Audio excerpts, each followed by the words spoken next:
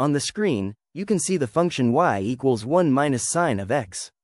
This green curve represents that function. Our goal is to find the magenta area under this curve between x equals 0 and x equals pi. That area is calculated by the definite integral of our function. y equals 1 minus sine of x from 0 to pi. Before we calculate the integral, let's first plot the function, y equals 1 minus sine of x, step by step. In order to plot it, we first need to find the values of sine of x over the interval from 0 to pi. Now, let's move to the next slide. Here, we'll take a closer look at how to find sine of x using the trigonometric circle. It is very important to note that if you're serious about math, engineering, or physics, the trigonometric circle is something you should really know by heart. It helps you see how sine, cosine, tangent, and cotangent change as the angle moves around the circle. Being able to visualize the sine and cosine in your mind at different angles on the trigonometric circle is one of the best ways to truly understand how to calculate their values without the need for memorization. Go to mathlive.com and open the trigonometric circle tool. It's an amazing visual learning aid. Spend a few minutes exploring it. At 0 degrees, the sine is 0. At 30 degrees or pi over 6, the sine is 1 half. At 45 degrees or pi over 4, the sine equals square root of 2 over 2.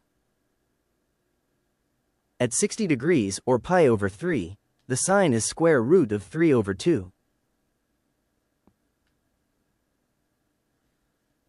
At 90 degrees or pi over 2 the sine equals 1. At 120 degrees, or 2 pi over 3, it's symmetric with pi over 3, also square root of 3 over 2. And so on, we can tabulate these values to plot our function by hand. We create a table for x and sine of x. Then, in the next column, we calculate negative sine of x by multiplying the second column with negative 1. Finally, we calculate 1 minus sine of x. That's the function we're studying.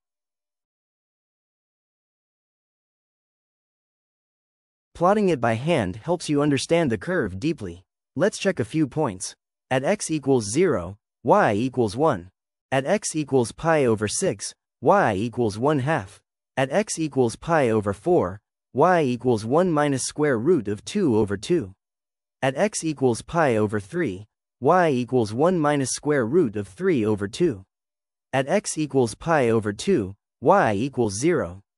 And so on, then, as x increases to pi, y climbs back up to 1. This simple sketch shows the overall shape of the function 1 minus sine of x over the interval from x equals 0 to x equals pi.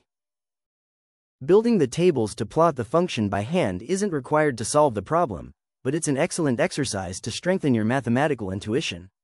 It will make you more confident and precise in math, and help you excel in math, engineering, and physics.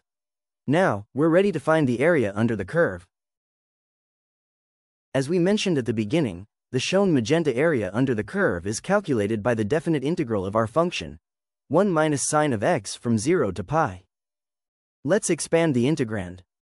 a equals the integral of 1 dx from 0 to pi minus the integral of sine x dx from 0 to pi. The integral of 1 is x, and the integral of sine x is minus cosine x. Since we have a negative sign before the integral, it becomes plus cosine x. That gives a equals x evaluated from 0 to pi plus cosine x evaluated from 0 to pi. Therefore, upon substituting the upper and lower bounds, area A equals pi minus 0, plus cosine pi minus cosine 0. Cosine of pi is negative 1, and cosine of 0 is 1. Substituting again gives area equals pi plus negative 1 minus 1. Therefore, area equals pi minus 2. Finally, let's verify it on mathlive.com using the integration module. We'll start by finding the indefinite integral, which serves to verify our hand calculations. As shown, the result of the integral is x plus cosine x, confirming our hand calculations. Let's now make it a definite integral from 0 to pi and evaluate it. We get negative 2 plus pi, or simply pi minus 2, which confirms our hand calculations as well. Now it's your turn to explore. Go to mathlive.com and try the function grapher, the trigonometric circle, and the other learning modules. Integrals, derivatives, complex numbers, vectors, quadratics, and more. Each tool is designed to help you see math in action and build real understanding.